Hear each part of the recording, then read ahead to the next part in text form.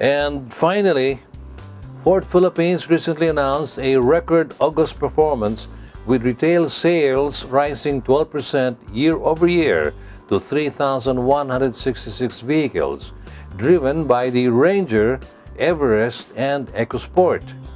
According to Ford, the Rangers led the August record with retail sales surging 65% from a year ago to 1,038 vehicles.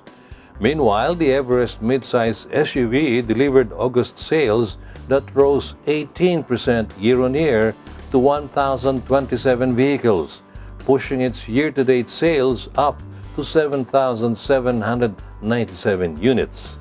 On the other hand, the EcoSport compact SUV remained one of Ford's best-selling models in August, with retail sales growing by 8% from previous year with 921 vehicles, helping drive its year-to-date sales up 15% to 7,013 vehicles.